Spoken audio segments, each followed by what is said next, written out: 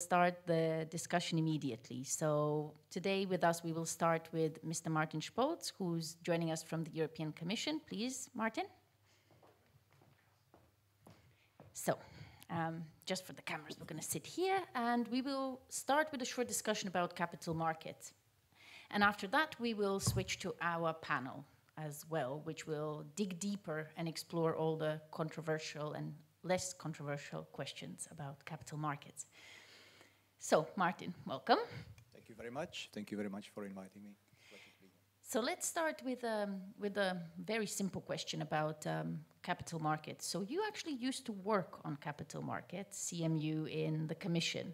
And we had a very brief discussion earlier today about the Sustainable Finance Agenda, which is available now on YouTube to watch. Um, we, we record all the sessions for later.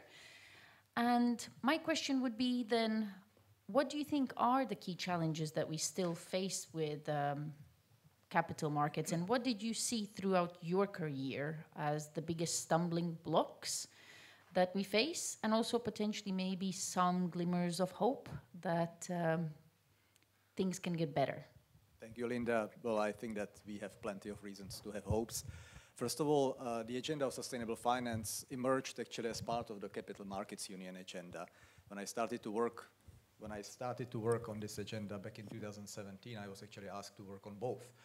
And of course, I had to deliver on both, but I do admit that uh, over the last five years, the agenda that has grown maybe or more rapidly and uh, kind of faster is the agenda of sustainability. We have made a good progress on the Capital Markets Union, but it just shows uh, how long-term projects these are.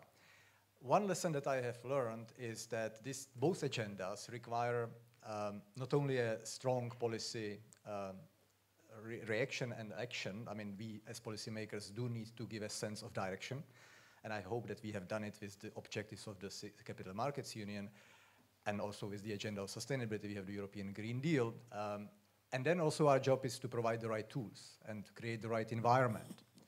But this is not enough. We do need uh, a very strong cooperation and very close dialogue, conversation with the markets, ultimately, who are responsible for the actions. And here, I mean, we are really in the hands, ultimately, as policymakers and regulators of the markets. Now, can we say today, after five years, are we happy with where we stand on the Capital Markets Union? Are we happy where we stand on the integration of capital markets and diversification of, of sources, of capital sources? I think that the answer is no. Uh, are we happy where we stand on the sustainability agenda, on the sustainable finance? Are we happy with uh, the proportion of sustainable assets that the financial sector uh, is currently funding? The answer is no. But the hope, and I think that the kind of the sign of a hope is that there is a journey, there is a, there is a di direction of travel. We can, of course, improve the direction of travel, and I think that there are many ways how we can improve it also as policymakers and regulators. But what matters is now really the action. So I mean that we are not only you know having and delivering great speeches, but we translate and ultimate these, these targets and this, this, these big uh, goals into action. And here, I mean, I would like to say that our job is to articulate the opportunities that the two agendas can reinforce. They, they offer great opportunities how the Capital Markets Union agenda and the sustainability agenda can reinforce each other. I mentioned earlier today, and I will hope not to be that long, that this agenda originally started as greening the finance. I mean, we wanted to make sure that that ultimately we make sure that the financial sector is managing its own risks and ultimately is aligning uh, you know, it, their portfolios with the targets.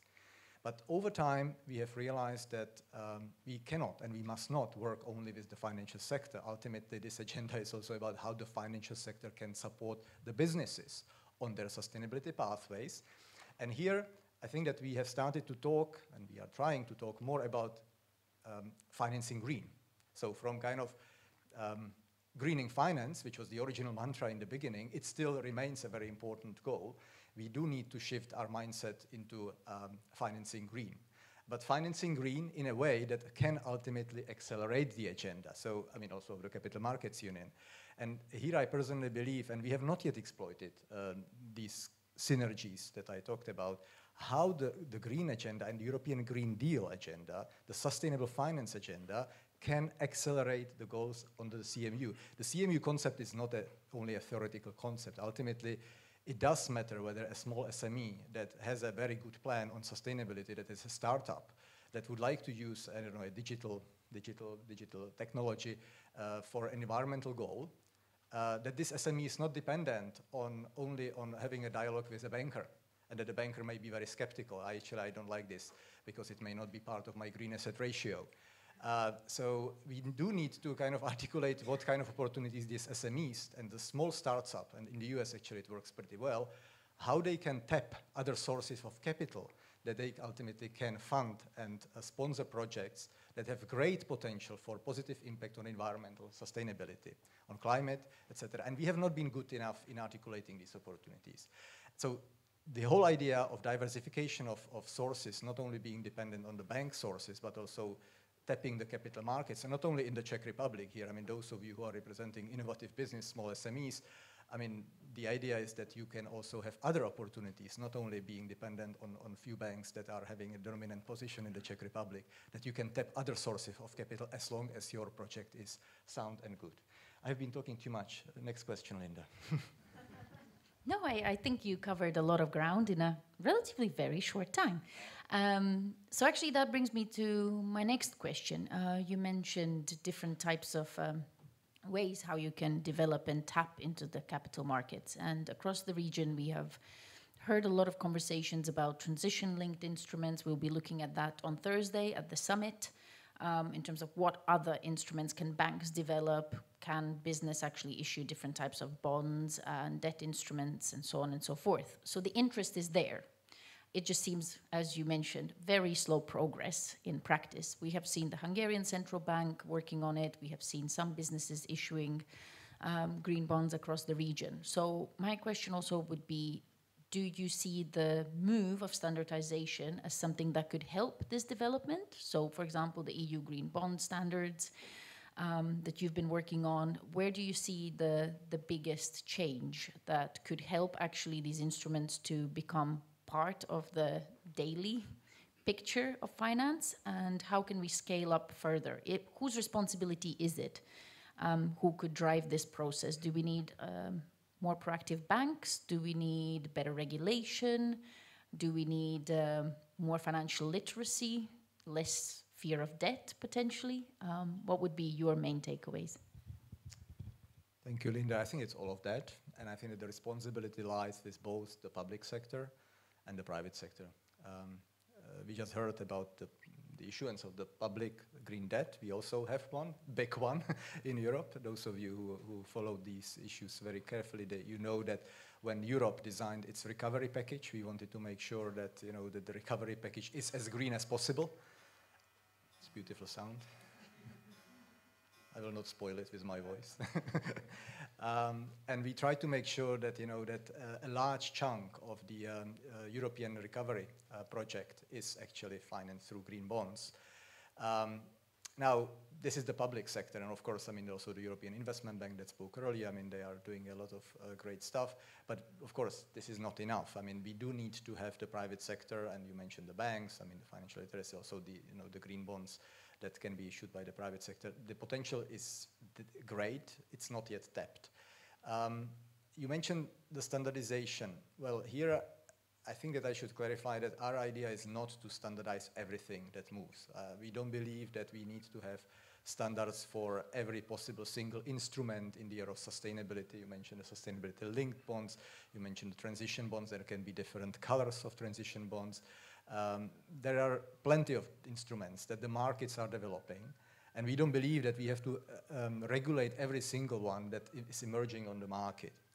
Our approach has been so far to create an environment in which, whenever these instruments um, emerge, that there is a minimum degree of integrity and uh, also transparency in the market about you know, what is actually behind those instruments so that when we talk about the, the boom of the, of, the, of the green market, that ultimately, you know, this is also comprehensible and, uh, you know, uh, somewhat credible uh, to the ultimate investors.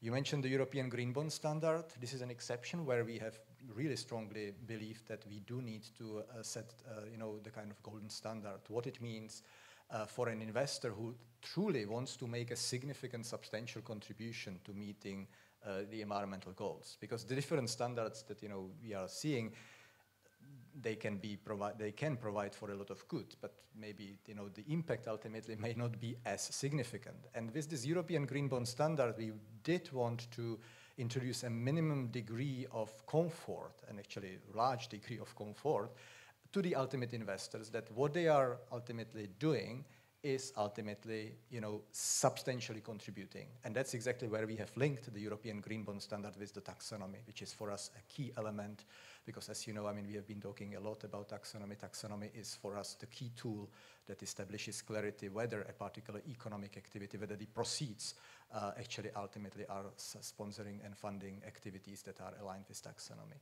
So um, the European Green Bond Standard is a very important um, element in our whole strategy. It's currently being negotiated between the Parliament and the Council.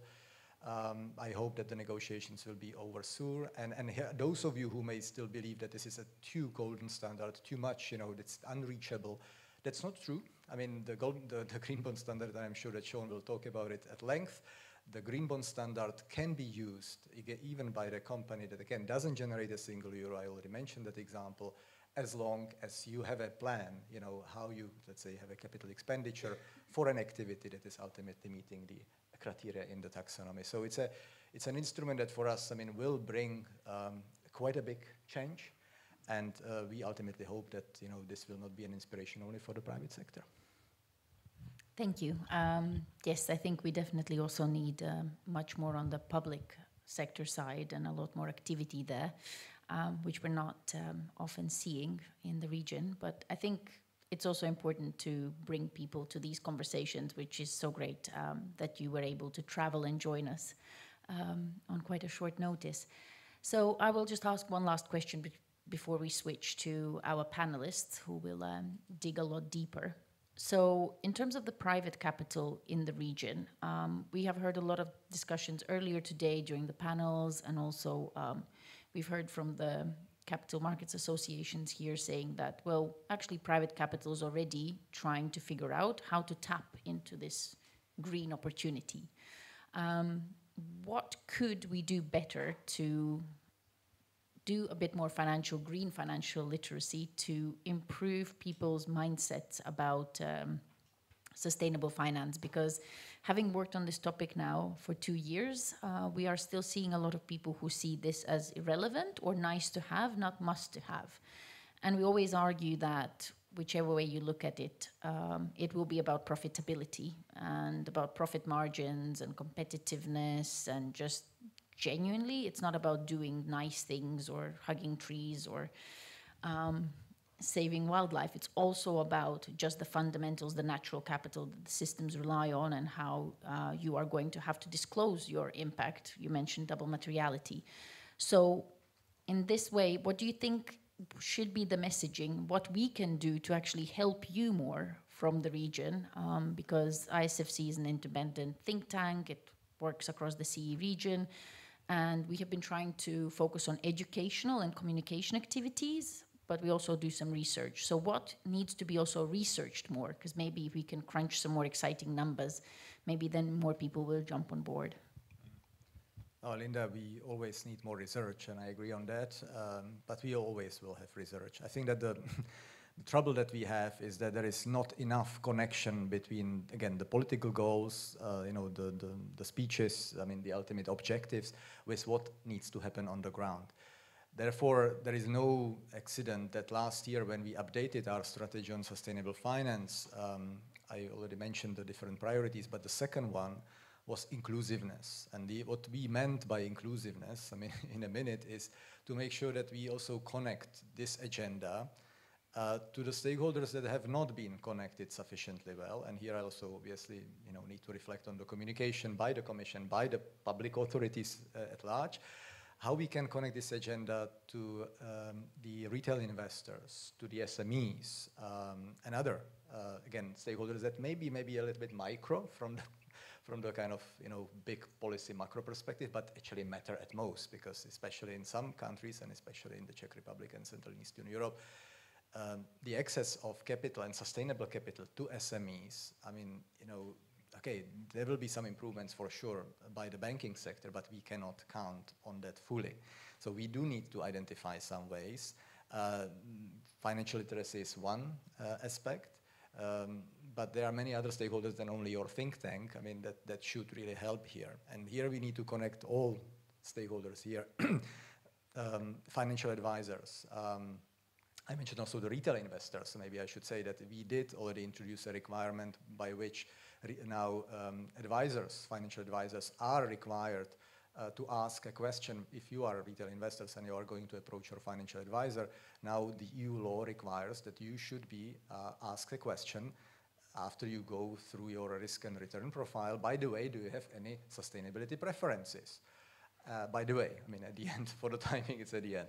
And then, if, as long as you say yes, uh, then there should be an appropriate follow-up. And through the fiduciary duty requirements, you know, this should ultimately trigger an action. Well, you know, this will take some time, but this is how we think, I mean, can, uh, we can mobilize retail investors. But we talked about the SMEs, and I don't want to have a very lengthy discussion on SMEs. We can have a lengthy debate the whole evening.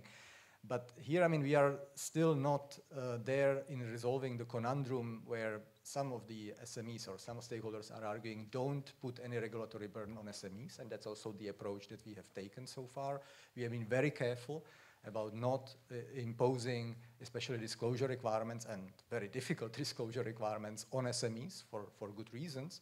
But at the same time, we hear from investors, look, I mean, if I don't get the information, I mean, how can I know that, you know, I, there is an opportunity, there is, there is something.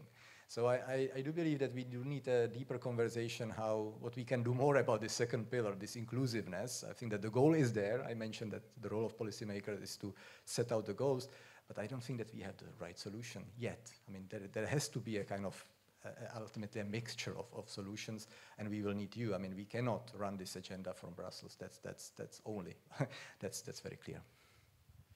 Fantastic, thank you. I think with that, we will probably close this part. Um, and I think it's a very interesting message to send also about the SMEs because I think a lot more can be done by each of the stakeholders with a little bit more of a proactive approach, not just waiting and reacting, but actually trying to understand how you can benefit, how you can utilize the momentum behind the Green Deal. And also, we do have um, an energy price spike. So, that is a real issue for a lot of businesses. So, that shows that those ones that are trying to decarbonize and trying to figure out how to save energy actually are now benefiting. So it shows a very clear example of uh, how that can be beneficial um, also for business. But thank you again so much, uh, Martin. And now I will give floor to uh, Mr. Razvan Butucaru, who's going to run the rest of the session. Uh, thank you so much. He's no, no, not alone. But uh, just a quick note, because we have an overfilled room, I will join Martin over there, and then we have a few seats opening up because the speakers are joining the seats at the front. So please uh, welcome and grab a seat at the front. And Razvan, the floor yes. is yours. Thank you, Linda. Uh, please, my panel.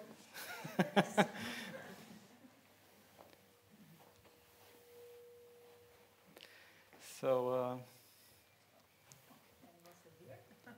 thank you very much for uh, for the invitation. It's very nice being here with you this evening. It has been uh, quite a day uh, with a lot of uh, uh, with a lot of ideas, a lot of brainstorming.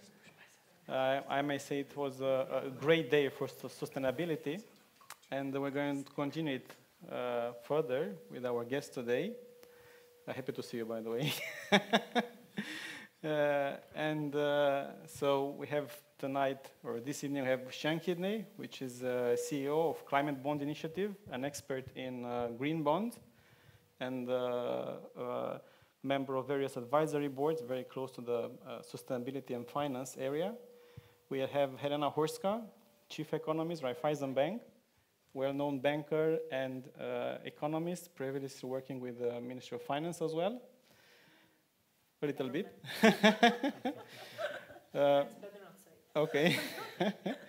uh, Martin Kominek, he's our representative for the investment a professional investor. He's a founder and managing partner or of uh, Smokestack and uh, previously a member of, uh, of board of Tendom. Uh, and last but not least, uh, Theodor Cojoianu, it's associate professor in uh, energy finance, University of Edinburgh, and founder of Romanian Sustainability and Finance Association. Well done, Theodor. Our panel today, it's about capital markets in CE, and it will touch some, some topics which was quite common during today's discussions. It was about capital, right? About public capital and about private capital, okay? How they mix, how they finance, uh, how we can, the capital can reach to uh, medium to small size companies and how the investors can be convinced to invest in a sustainable economy, sustainable business, okay? So, my dear panelists, my dear colleagues, let's see how we can unleash this power of capital and what are the challenges that we're facing in, in, in CE. So, Sean, you are the first here, so. Is this on? Yes, fantastic. well, look, we know some basics, right? We know we've got a vast challenge. It's worth noting the challenge, by the way. The challenge is not only uh, repowering the EU in the context of the war in Ukraine, which is obviously a central core agenda, getting off gas, getting off oil really fast. It's also our 2030 outlook, if you've read the IPCC report, utterly terrifying of a few weeks ago. Utterly terrifying. 50% reduction in emissions we have to achieve in the next eight years, or else we are toast, frankly.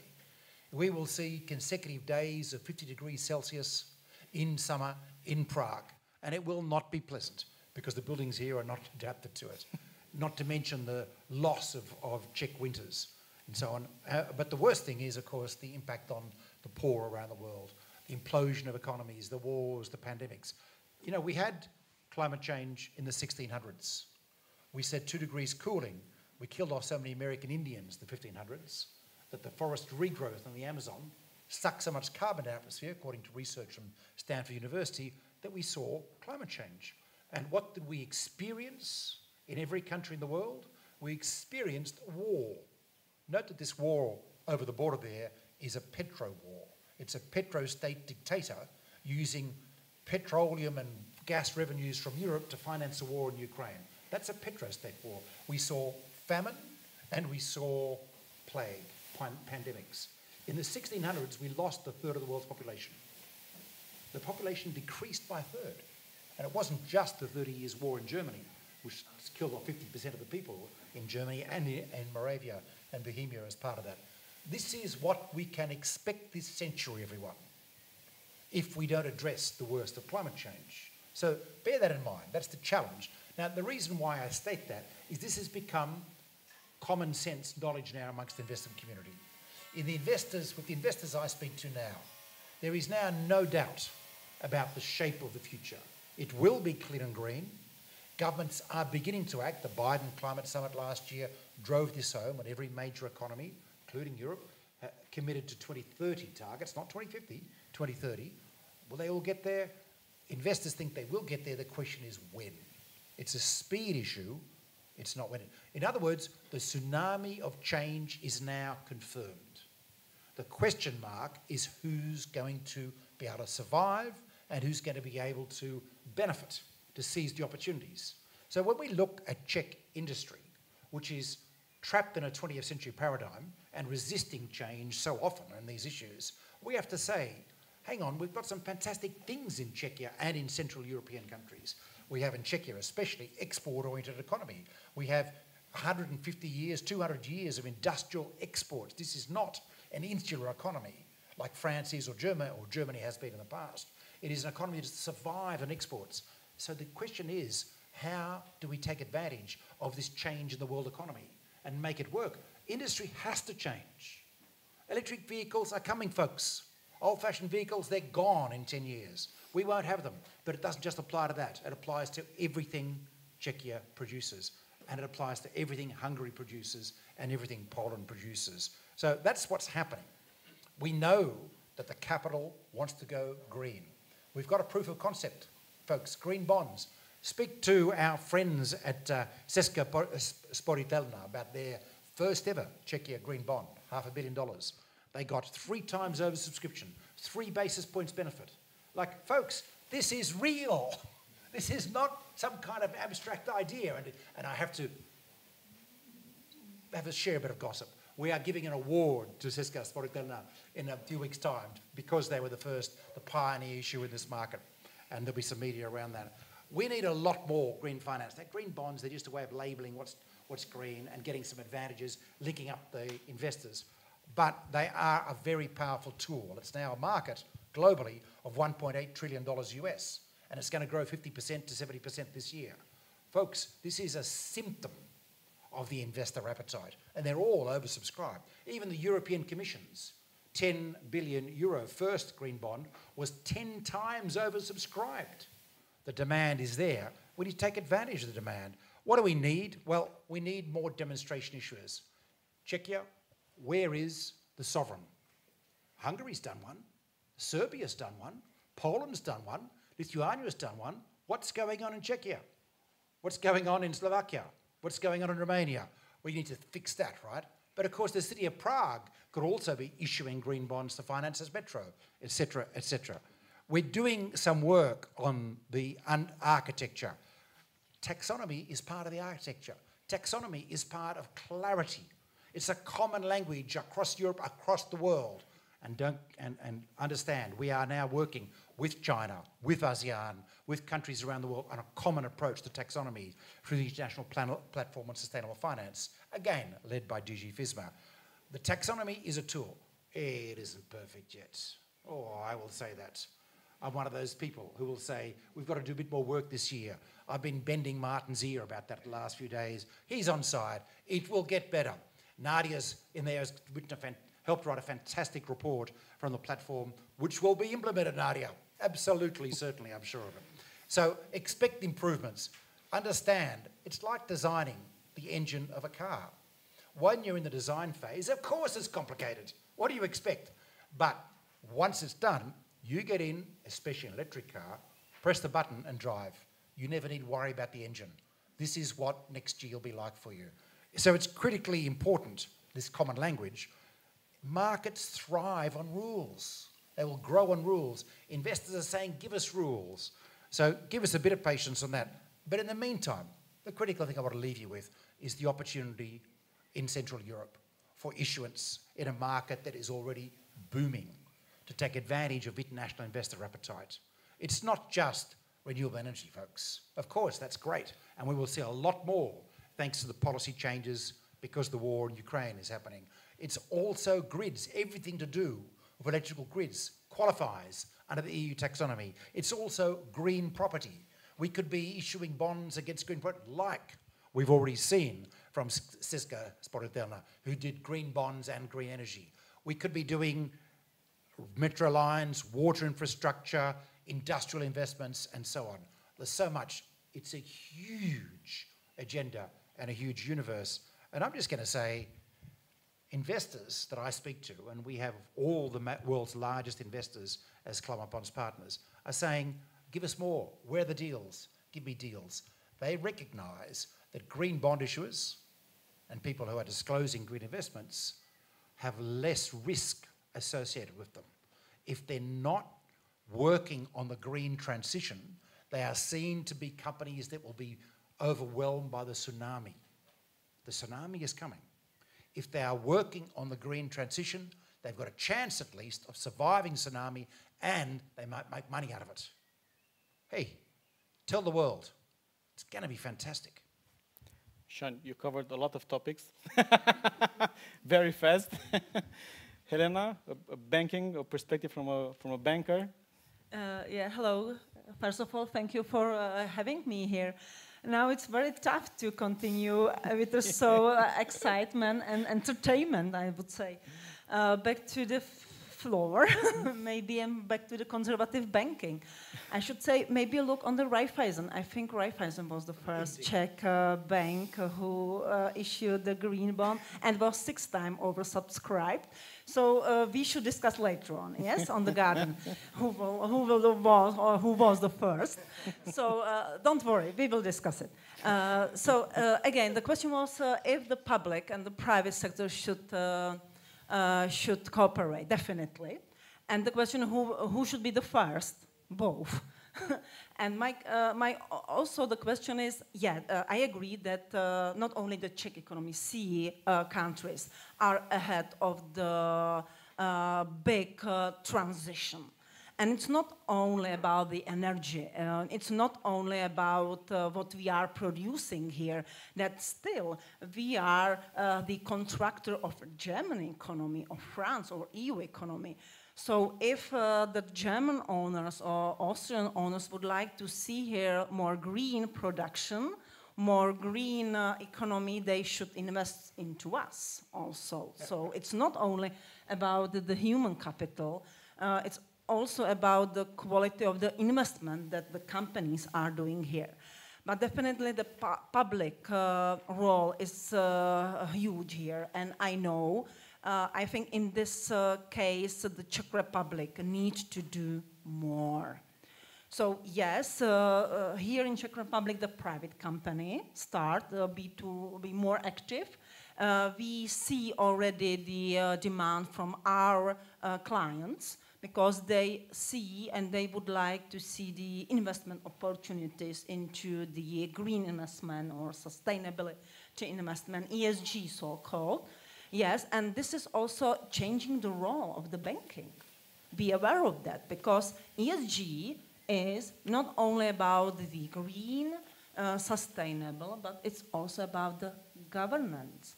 And in this sense, we know, at least from the experience from Raiffeisen in Vienna, that if you would like to follow the rules for ESG, you should be, as an investor, very active in governments of the companies into which you are investing.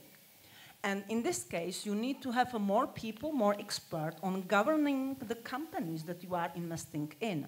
And also its demand for human capital.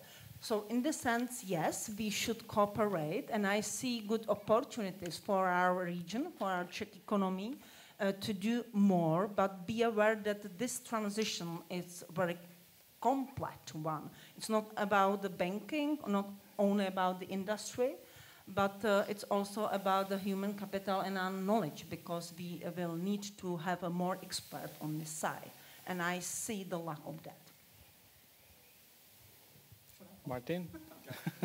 yeah, thank you very much for having me and it uh, will be difficult to, to follow after Helena and, and Sean, that's for sure. Uh, I, I, would try to take it a little bit from like private investor and from the private equity perspective, you know, Sean mentioned uh, a lot of things that I would like to touch, but not sure if I would be successful. But anyways, I'm not, still not sure, sure, about the cars, but uh, sustainability is a real thing. Definitely, there is no question about it. And uh, maybe, you know, um, first of all, I think it's about the people, you know, about their minds, about their feel of responsibility because at the end of the day, and I, I had a great discussion a um, couple of minutes ago with, with Martin here, who gave you a wonderful speech. And, uh, you know, he, he asked me what they should do to support, uh, you know, the private investors, private equity, and all the kind of let's uh, let's call it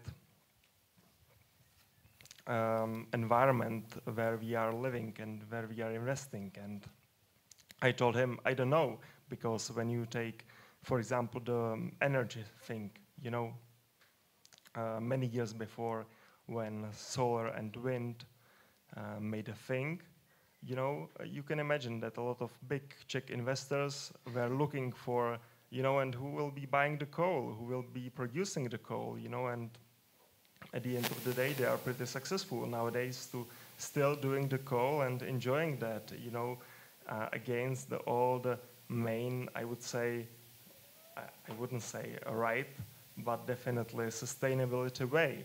And uh, all of you know that, you know, Czech Republic, Slovakia, Poland were based on coal like for many years and partially and or maybe majority they are still.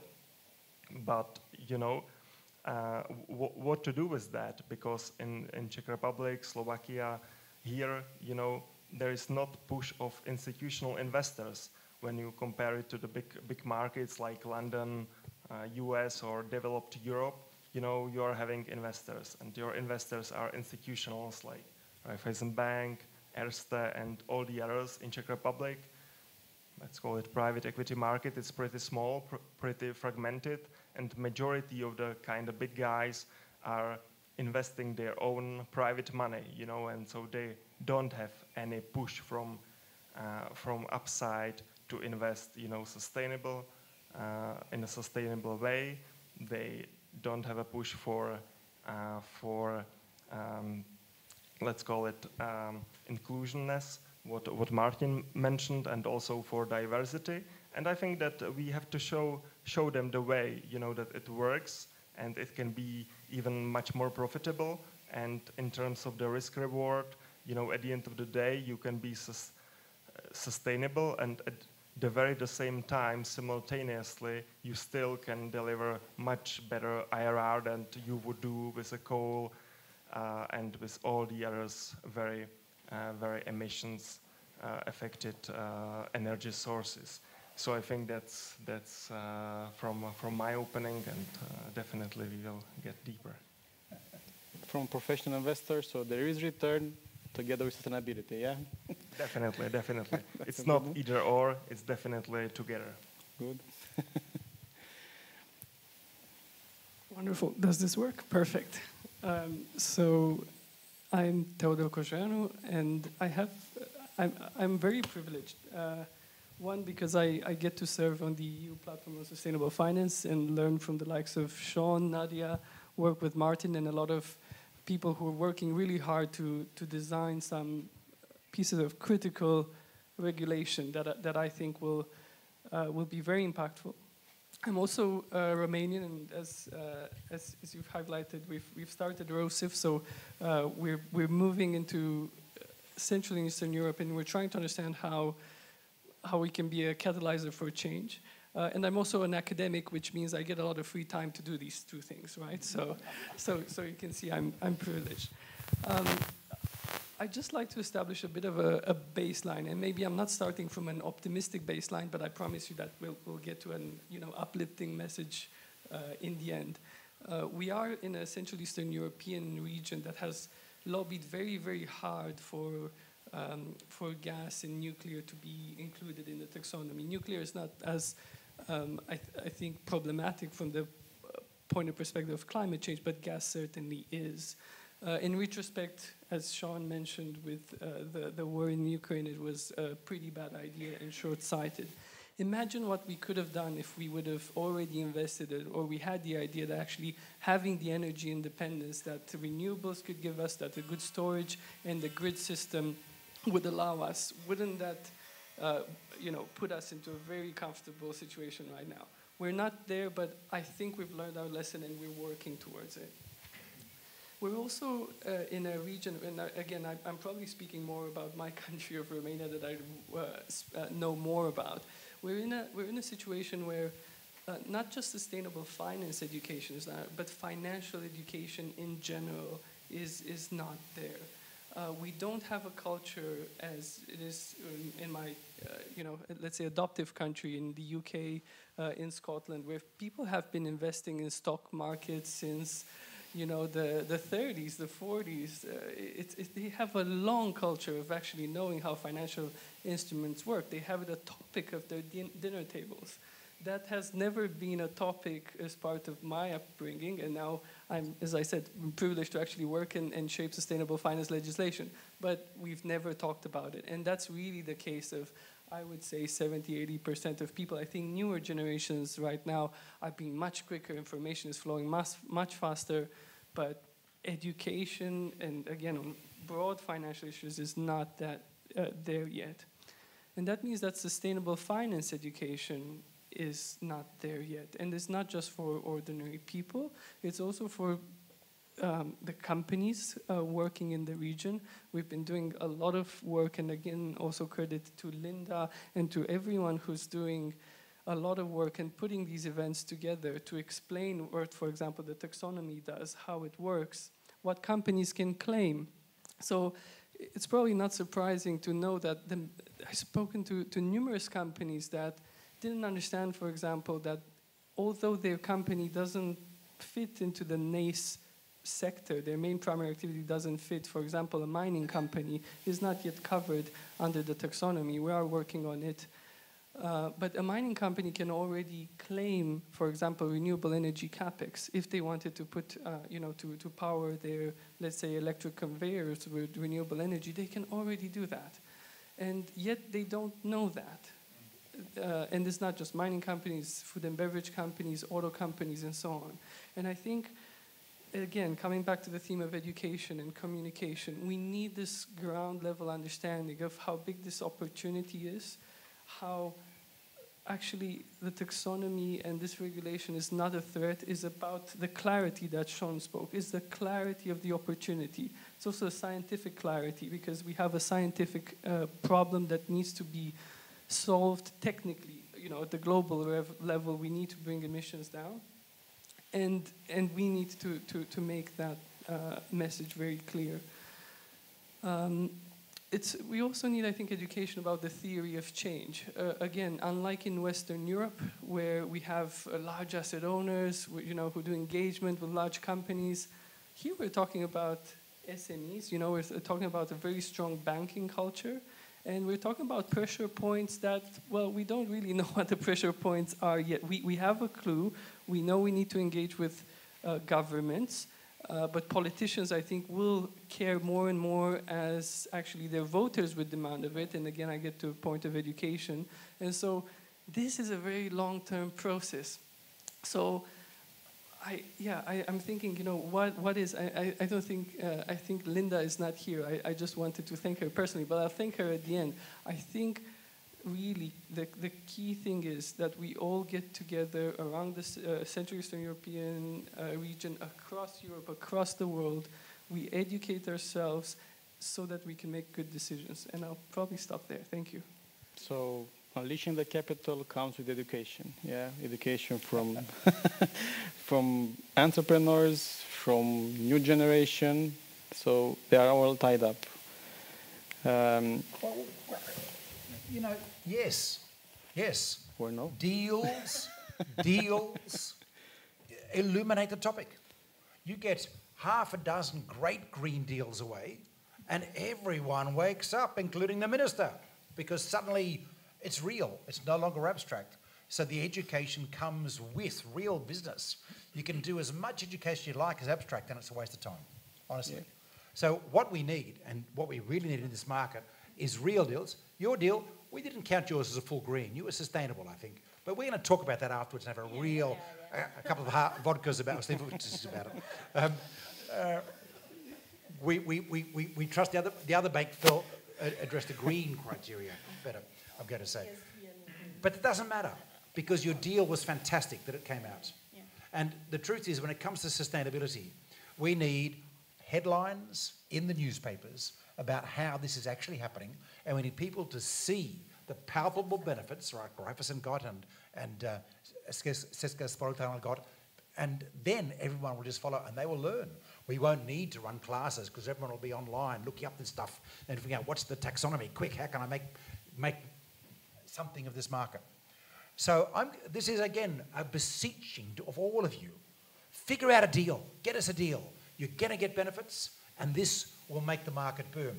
Remember that this isn't just a one off trying to push market. The world is changing. The world is changing. It is going to, in the words of investors I speak to, going to go green. The only question is how, where, and what speed. We can take advantage of that. We can get ahead of that tsunami by getting a few deals to market and then educating the market. So that's, that's what I mean.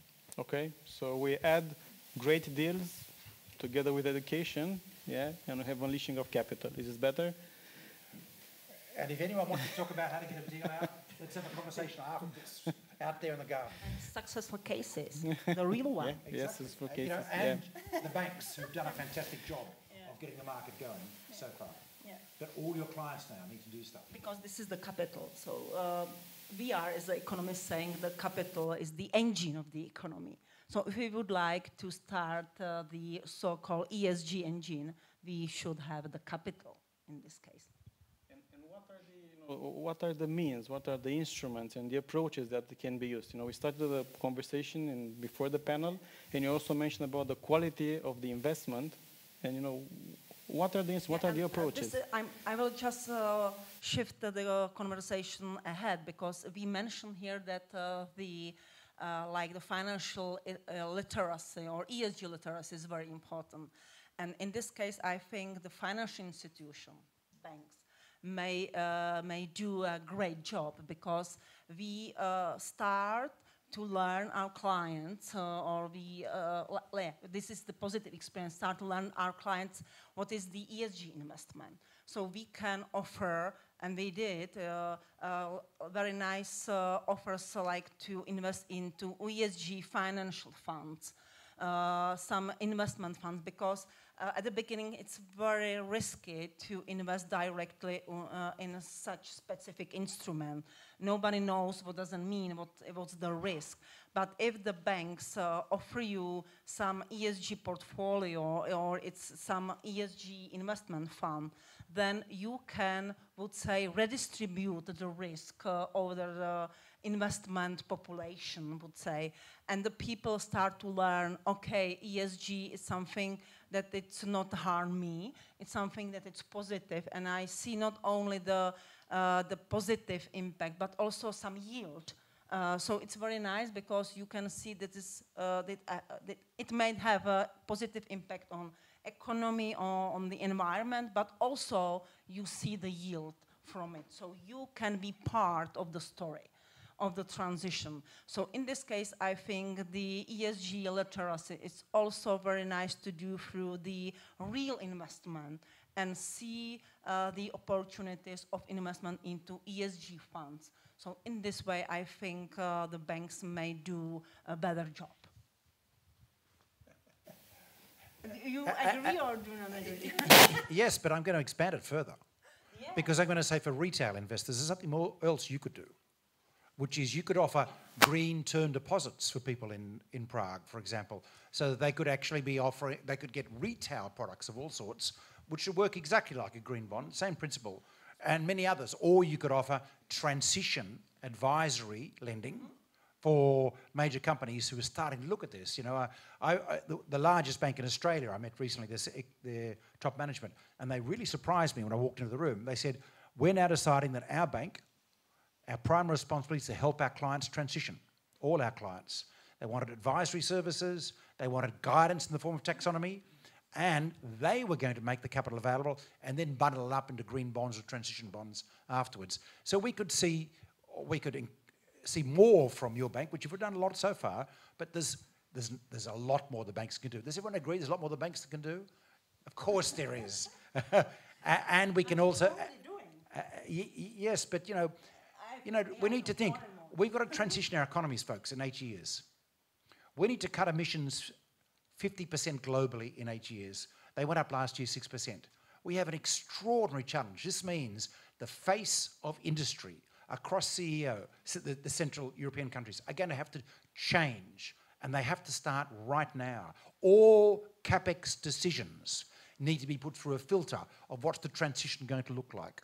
All OPEX decisions need to be start assessed on the basis of how this how the world's going to change the future. But it, if we make the change, remember this is also going to be the longest, the biggest Keynesian stimulus in history, what we're going through. It is going to be a long boom. We are going to see incredibly cheap energy like we have never seen before. Forget this high energy cost. This is coal we're talking about, and gas, which is giving us the high energy cost. Renewables are going to drive the cost down very quickly. So many things are going to come together. I'm just going to say we want to be on that train. We don't want to be sitting on the side watching the train head off.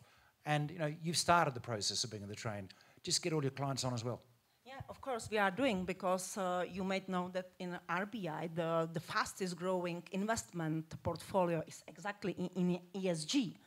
And it's uh, also the opportunity for us, and we are offering to our Raiffeisen Czech Republic clients to be the part of the story. And we know that the, the, this part is the fast growing uh, part of the market. If you look on the numbers, uh, number of uh, issuance uh, each year, it's uh, multiplying. So it's not only like a couple of uh, percentage points, but it's double or three times higher. But of course, uh, this is the opportunity. But as we mentioned, first of all, we need to give the people like the safety net that this investment is a part of the story and it's not only ESG, uh, the uh, politics, but also they can see the yields from the investment. And the retail investment, especially in RBI, is the, really the fastest growing uh, part of the uh, uh, collective investment. And we see, especially between the women, as we are speaking about the diversity, so about women investment and young people. So young generation is strongly invested or it's strongly interested in this kind of uh, investment. So it's so, so are you saying good. Women, are leading the way? Uh, yeah, we are. Uh, we are leading again. You know, in crisis, the women are the power. Women are yes, pressing absolutely. the society to move ahead, while the men are saying, uh, "Okay, we will should wait and see what will happen." It was seen in COVID in Czech Republic. The woman and women led the power to move ahead. I can certainly agree that um, in, in difficult to comment it, but I would say you know it's uh, with the women and men it's very the same like with uh, investments. You know there is a good investment and a bad investment. It doesn't matter if it's ESG or not, and very the same with uh, once you're having you know you're trying to set up the great board for your company for your investments and for your let's call it institutional investors you know? You want to be sure that you have the best possible board you know and it does mean that it's um, there is some diver diversity but it doesn't mean that you are pushing the women in, into the board. You know they are still human beings and regardless they are a woman or, or the man but you are trying to to find uh, the best ones so. Yeah. So So actually, but the question of the quality, you know, if you are like trying to find somebody to the board and you are seeking somebody who will work uh, 20 hours per day and uh, seven uh, days per week, then it's wrong uh, assumption. And uh, you know, if if you would like have a woman or a woman, uh, somebody who is the uh, person who is uh, opening like mid and long-term issues and not only following the one-year results, then it's right. But if you have the woman there in a board, at the board, that uh, it's only the woman and you, uh, you exactly fulfill the uh, some internal uh, criteria, it's wrong. But what I'm saying uh, that the women, in, especially women in a crisis, are able to see the light in the tunnel because they know how to do that. And I think this is kind of, would say, diversity that we need to have. Sorry, but we changed the topic. Because you know, we're talking about ESG, it's not only sustainability, it's, it covers everything, governance, you know, it covers social, it's it's all of it. And I, am glad that you know we're touching this subject because I think it's no, this is what we have to to, to understand. Yeah, yeah, please, yeah. I, I, I spoke, I, spoke a lot. I spoke a lot, but I just want to say that we have six rapporteurs. Quick, but before Linda comes back, because she's very tight on the schedule. okay, no, sure. I don't know. I mean, we have six rapporteurs on the platform on sustainable finance. Nadia is one of the five women we have. And the reason why we have appointed women is that, as exactly we just heard, I mean, we do need to see the light at the end of the tunnel, and Nadia is doing a great job, and the others as well. Absolutely. Also, from uh, my, my partner asked me, why is it that in Romania, anything that we've done substantially well, also on the sports side, it's all women, our handball team, our gymnast team, and uh, I had to recognize because, you know, they, uh, they get things done. So uh, uh, I, am delighted to also have been uh, just inspired also by Nadia, then by the by the many uh, mentors uh, that actually uh, have taken me under their wing and said, "Hey, this is the, the the true way in sustainable finance." And actually, a lot of the pioneers, Sean, also in the field. If you also think of Christiana Figueres, who have made the um, you know the 2015 Paris Agreement I think there's, there's a lot of inspiration that, that we should draw from. But I, I also wanted to get a, a bit back to what you said, Sean, on the new infrastructure side. And this is something we've, we've debated in the platform uh, about new issuance, new capex versus alignment of our current activities. And I really think also for our region, we need to emphasize this new capex. We need new infrastructure yes, we need to retrofit our buildings, but ultimately, really, I, it, it, we can't really take our cars and just simply put an electric engine in them. You know, we really need a lot of new infrastructure. And actually, for the new infrastructure, as, as, we also know, Martin, the taxonomy is not really a problem, not even a reporting problem, because you can set up your new project to be taxonomy aligned because you're building it from the start. Um, and so industry won't be concerned that they cannot do it because it's actually much, much easier. It's really hard to look at our current infrastructure and say, is it really taxonomy aligned? Can I really refinance my debt? Particularly in private markets. Nadia will tell you in the break how difficult it is to, to do it in public markets. Uh, and so I, I, really think we should focus on this new infrastructure because that's, that's how we actually solve the problem, not by refinancing what we've already done and saying, actually, in retrospect, we've done well. It was green. Thank you. uh, actually, you know, on this part of financing, you know, I think this is Sean has more to say because on this, you know, he's an expert in green bonds, and you know, we have now in Europe, there is Europe, uh, the green bond standards, a voluntary one, which has to be released uh, this year. So Sean, if you could comment a bit more on, for example, what is different in CE compared to other regions, because you have a you know, broad view on this in terms of you know, green bond issuance, you know, specifics, and what, what these new standards, voluntary so far, brings about, and how, how do you see it? Look, the standard is just enshrining the protocols that are already in the market. It's not a departure. It is not a revolution. It's just crystallizing. You know, your bond will qualify. Your bond will qualify. That's easy. Um, the new area of work is the taxonomy, which is fleshing out compliance issues, qualification issues to better understand, putting aside the work we're still doing in that. So that's the really critical thing. So I, am not worried about the standard. It's just going to simply come in and everyone's going to use it because they're already doing that now anyway, largely things like getting a second opinion or an independent review of your green criteria. It's pretty straightforward. It'll help the standardization that's becoming the norm in the market. The real issue is how do we find the opportunities, how do we make the opportunities work in CE area. This has been a low area of issuance, although the Polish government did get in and issue the world's first sovereign green bond, thanks to advice from HSBC. They just beat the French to the incredible annoyance of the French. So much so that the French excluded HSBC from their underwriter league table as a result of supporting the Poles. I was so annoyed. um, but that's okay. That's the point of what we're trying to create competition to get there. And now we've had a lot of other issues in the area. The real issue, I think Theo's right, is how do we create the new infrastructure and the new investments? That's what we have to look. And green bond markets, which allows you to refi, by that you can refinance assets. The Prague Metro could be refinanced in the green bond market and qualify, which would get instruments going and allow investors participation, grow engagement, and build appetite for new projects. So remember that, so you can get started on refinancing. That's important to note. But of course, the big job is the new infrastructure. So the new high-speed rail that's been connected Berlin, Prague, and so on is an example of infrastructure we need. But it's so much more than that. You know, if we look at where emissions are coming in in Czechia and Hungary and Romania and Poland, of course it's energy. We need to switch. Well, we need to switch anyway. I'm not worried about keeping on using coal for a few more years because I've discovered that gas is actually only marginally lower emissions than coal because for the last 20 years we have been ignoring the fugitive emissions from wellhead in Russia where they're leaking like a sieve and methane is 84 times the potency of CO2 when it leaves the atmosphere. So it's a disaster. So I'm really glad now that we've killed off the idea of transitioning to gas in Central Europe.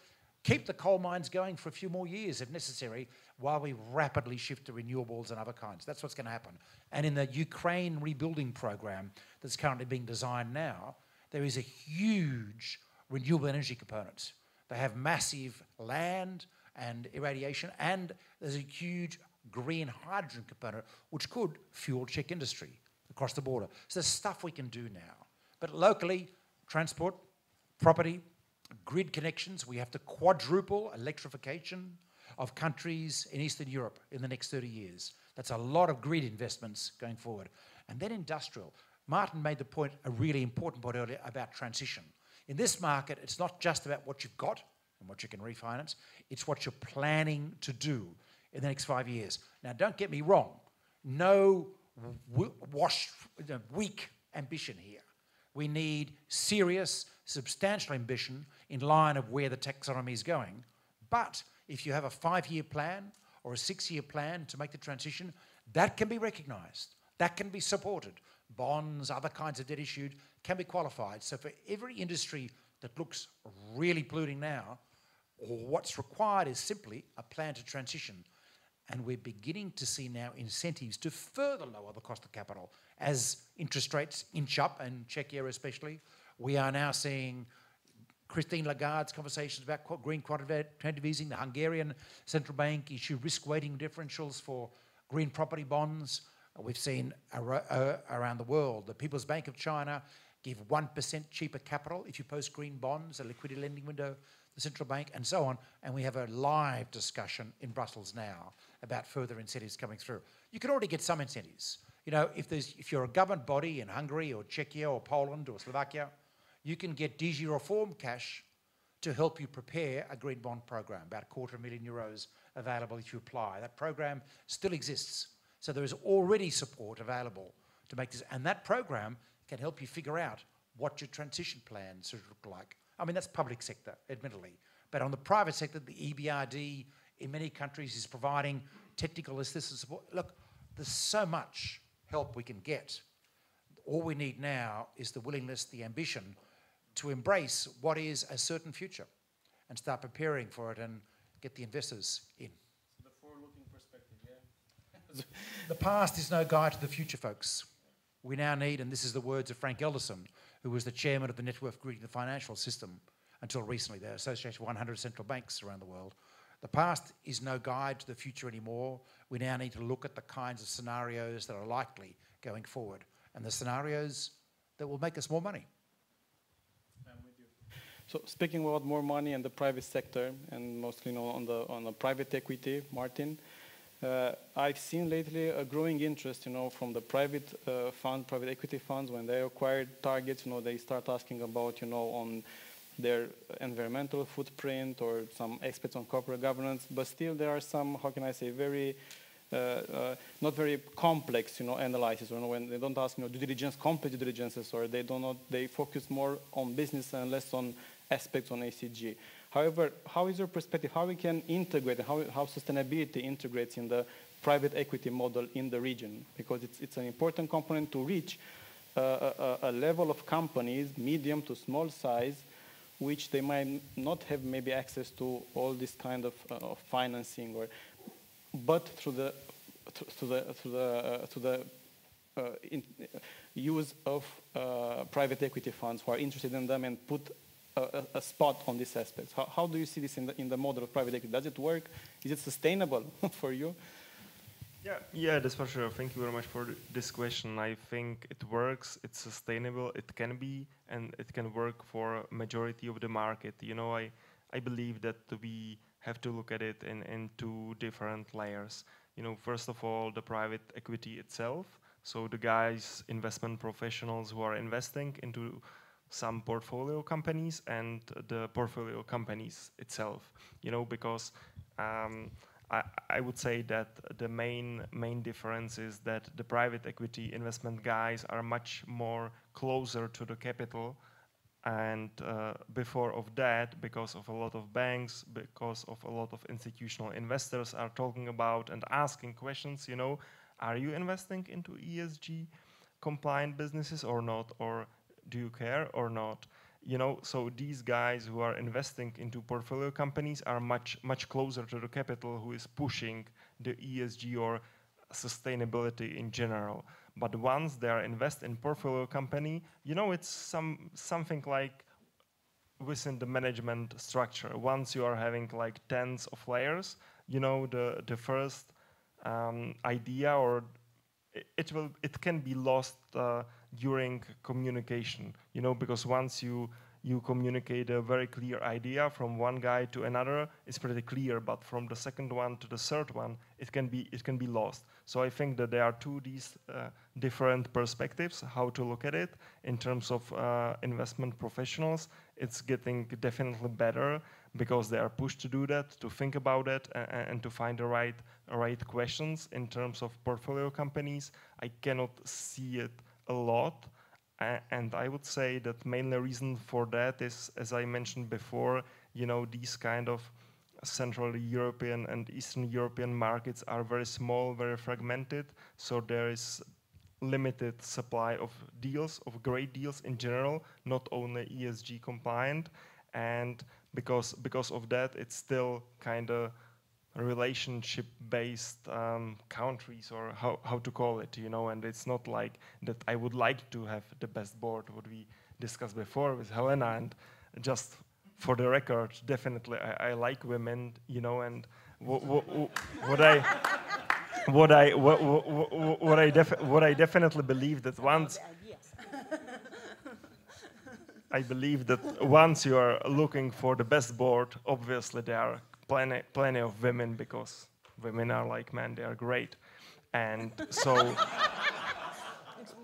okay. so, so uh, I, I, I, mean, you know, uh, because of these relationship-based economies, uh, you know, portfolio companies are much more focused on other things than diversity and the, the best possible results because they just know someone and they are hire someone because they know him, you know, and that's kind of, I would say, the problem which um, for, for bigger, more developed markets, they are in much better position fighting it, first of all, you know, and they are on the other side also much more successful in applying ESG and all the sustainable way how to how to operate and how to deliver their results and IRRs and at the end of the day the money to the institutional investors. You know, uh, not enough institutional investors, especially the worldwide or the global ones in, in these small fragmented markets. It means that I would say much much lower focus on ESG and much much less success, unfortunately.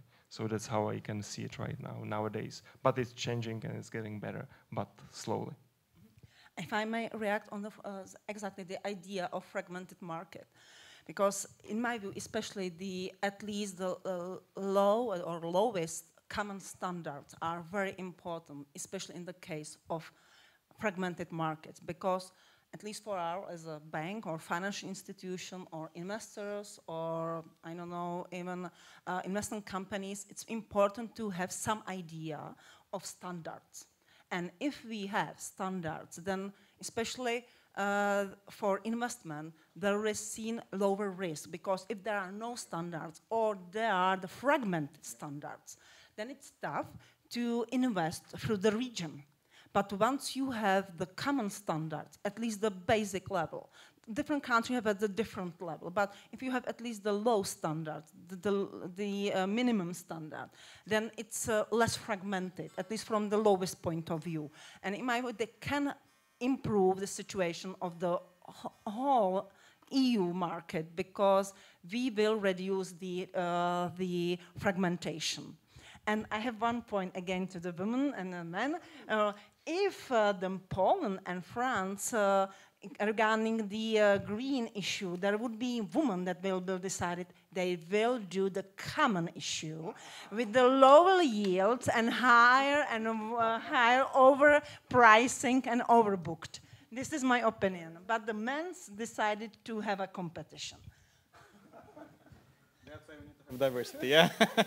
this is the reason why we need a diversity. Yeah, true. Yeah, yeah, See another exactly. opinion, Different another yeah, looking yeah. at the problem. So it's not about the competition. We should cooperate. Yeah, and I think it's key this for CEE cooperation. I think and, and unity. I think it's very important. it was good. uh, Theodor, do you want to add something on standards and taxonomy, or maybe pick up on the cooperation point, um, and also just to highlight another piece of wonderful legislation that actually came out of the commission, which luckily didn't get debated too much, and it's working wonderfully, is uh, sustainable financial disclosure regulation. And actually, a, a lot that SFDR is doing, also on the private equity side, is even allowing venture capital private equity funds to give money to startups and actually integrate as part of the deal the data infrastructure and uh, the whole reporting process, the data collection that they need to then show that they're actually green. So by the time they become, you know, publicly listed, you then, for example, have a generation of startups that actually know exactly how to do it, and they're already, uh, you know, ready for green bonds and for the capital market.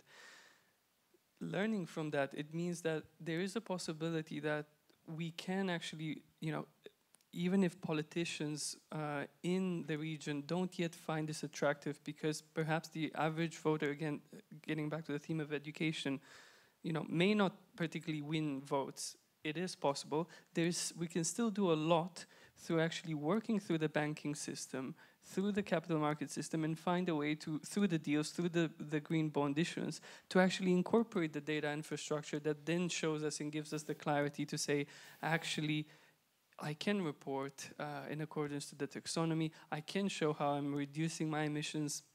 And by the way, this region has a wonderful uh, history of also IT innovations. Also in my own uh, home country of Romania, we have wonderful internet. When I moved to the UK, I thought, what is happening? my screen is not loading. Uh, but testament to that, we have one of the uh, largest data providers, Sustainalytics. Their second largest office is in Romania, and a lot of the analysts are Romanian, and they're also spread around the Central Eastern European region. It's just that they're not focusing inwards, right? They're serving the global asset owner market and asset manager market. So I think we have the talent. We just need to also connect the dots and understand how do we also look inward with a lot of these initiatives would be, you know, because we have we have ideas now. Sean mentioned a lot of, you know, projects, and all, know, we we all know what we're talking what we're talking about. But what is missing actually? Do you think it's something about, you know, tough leadership at the uh, thought leadership at the level of, of the CEE or the European Union? Do you think it's about politic issues? So how can we make this this thing work? Because we have ideas, you know. There are people who have ideas. What is missing? What do you think is missing? Or what should what what can be improved? All change is led by pioneers. All change is. It does require leadership by various people, not just women, but a lot of women, uh, in achieving this transition. So there's no doubt about that. You know, if you start understanding what the future looks like, it's a bit like knowing whether it's going to rain the next day, right? You plan accordingly and you act accordingly. Well, I think the most important thing I can say today is the future will be a huge change. We have started the revolution globally. It's underway. Europe is actually a leader, but it's not enough for Europe to consider changing Europe. It's not enough. We don't get out of this horrible situation we're in by just changing our own home. We have to lead globally. We have to support countries. Now, that also will mean a lot of export opportunities because 70% of the capex on infrastructure and urban development and so on in the next 30 years is going to be an emerging market, 70%. That's, that's allowing for the rebuilding of our societies.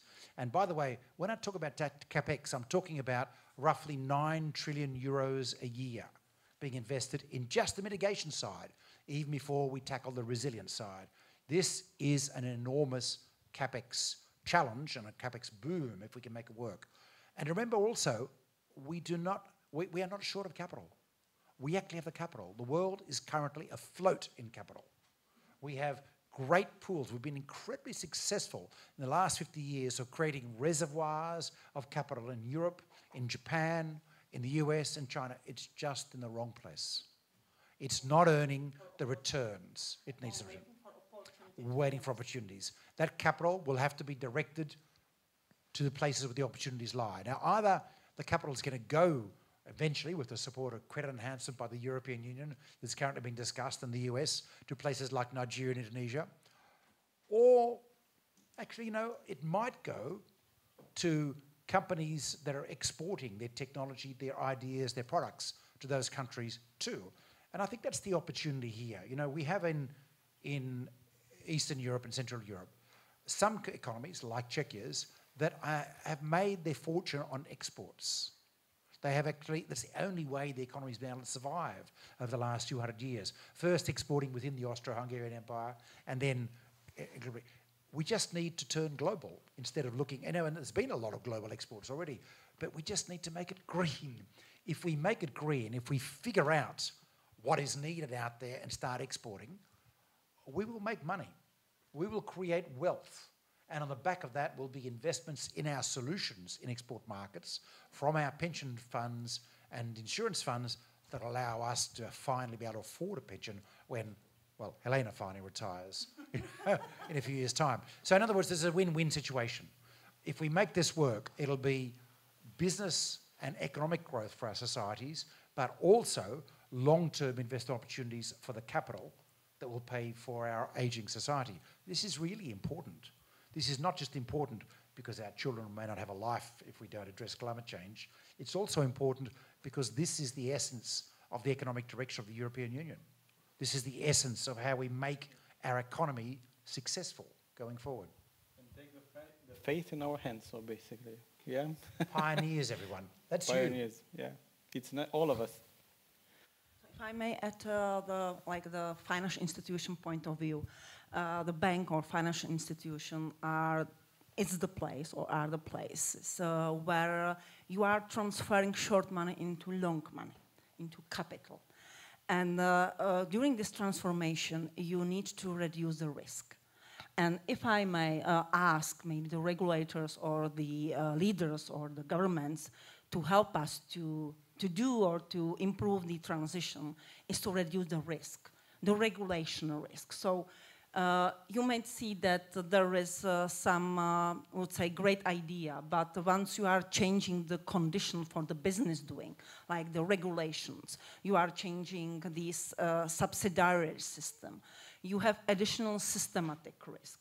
And what the financial institution needs to improve this transition is to reduce the risk that it's not uh, need to be there. So while you add the uh, global risk to uh, environment risk, uh, to uh, here the war risk, to additional risk like the regulation is or something like that. So in my view, I think the financial institution needs to have uh, the clear rules for doing their business to reduce uh, the so-called systematic risk from the side of the government. And there should be somebody who uh, would lead the change. So this is my like point of view from uh, somebody who is somewhere between the, the bank and also uh, the government, because I see the risk on both sides. Martin, what do you think it will take for the uh, private equity industry, you know, to, to leverage this kind of capital, you know, to, to move it to the more sustainable businesses? Do you see some, you know, politics actions? Do you have some, or how do you see it? Yeah, as I mentioned before, I think that first of all, you know, continue continue with the pressure from institutional investors because that definitely that works because you know uh, you as a private equity professional you would like to have um, your committed money and once they are you know surrounded by some ESG kind of regulation or whatever that you take it together you know so you are kind of think differently from the very a very first perspective, you know.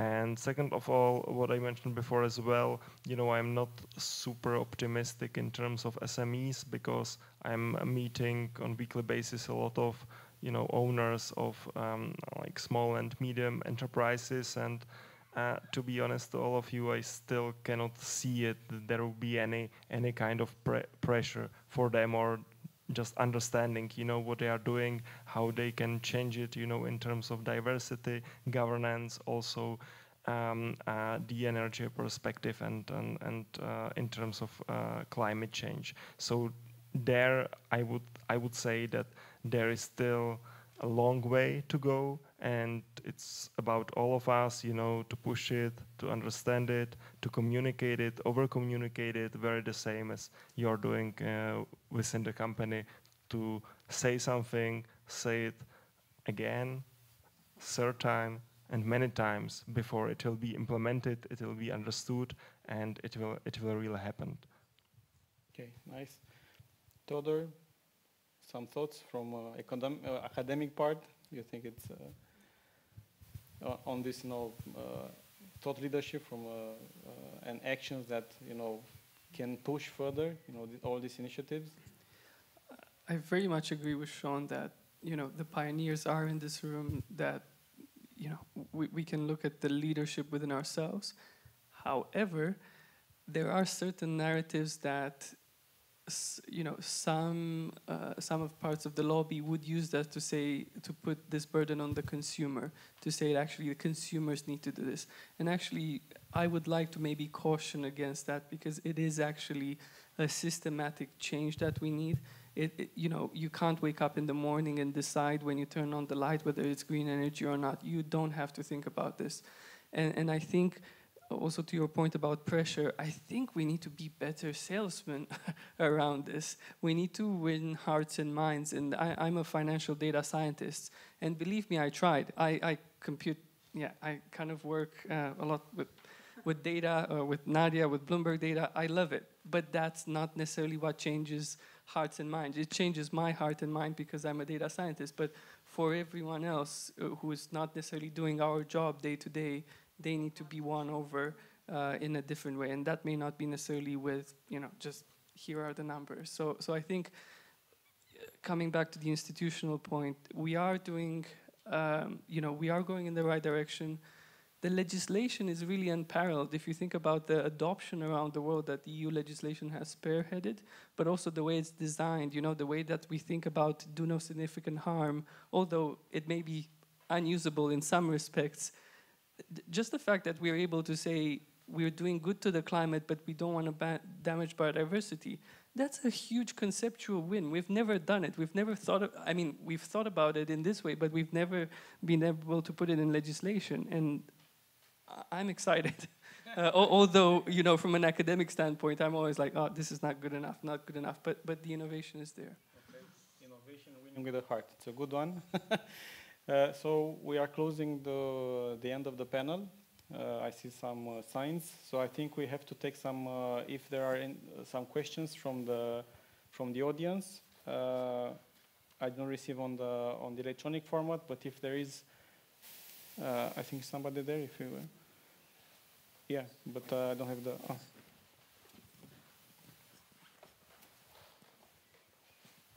Thank you. István Szabó from KPMG, uh, C, Head of Sustainability Services. Maybe my questions would go to, to Sean, um, uh, because I'm very much interested uh, uh what are the uh, additional uh, benefits of a CBI-compliant um, green bond compared to a pure ICMA green bond principle um, green bond? And second, how do you see the value of independent third-party uh, assurance uh, on green bonds or any other ESG disclosures? Thank you. I'll quickly answer it because it's architecture. It's an architecture question. We've established protocols that are getting independent review, builds confidence amongst investors and amongst consumers and people like us around the credentials. Because banks, you know, they're fabulous banks but do they really know environmental criteria? I don't know. I mean, so we need the independent review, right? It's your job. And so we've established that as a protocol, and that's the key, key part of it. That's what we care about. At Climate Bonds, we care about where the money's going. We review every single bond of the market and put them in indices and so on. And we make, uh, we arrive at a view about the quality, and we look at the independent reviews. In fact, they've got an independent review. Certification is just a subset. It's a quality standard. There are some advantages because it uses a taxonomy. The broad market doesn't. Well, of course, the Europe now has a taxonomy, folks. So we'll be looking towards the European taxonomy, and Climate Bonds taxonomy will now work towards matching the European taxonomy. But it's a gold standard in the sense of the protocols associated. That's all. I, am going to pitch everyone doing certified climate bonds because they do have a greater level of scrutiny. But at the end of the day, it doesn't cover everything. There's a big place for independent reviews. And anyway, what do I care? What do I care is where the money's going. Is it actually making a difference? Is it going to a Paris Agreement consistent investment? And, and as an organisation, that's what we're really worried about, that it's contributing to creating a better world. And frankly, of course, that's what the investors now understand. They understand that creating a better world in the future isn't a nice feel good thing. It isn't a scoring system, It's actually a way of reducing risk. It's a way of reducing risk of implosion of economies.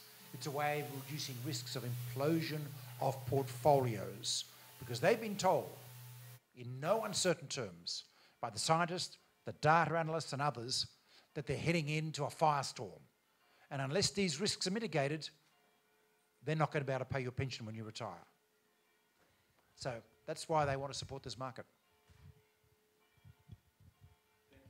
It's, um, is any, do you want to answer anybody of you? Have more or it's, it's okay? We, we finish on the, on the you know, sing of, sing of the bells, so it's quite, uh, uh, yeah, nice. And uh, yeah, yeah, it's like for looking, yeah, it's, so it's a moment to, to remember. It was very nice brainstorming with you, a lot of ideas. Thank you for the audience. We are here and panelists are here for, uh, for the questions after we, after we finish. I think uh, the, the uh, sustainable terrace is now open, so we can go and enjoy. uh, thank you again, and um, hope to uh, to see you tomorrow and the following days in the in the conference. Thank you very much. Thank you.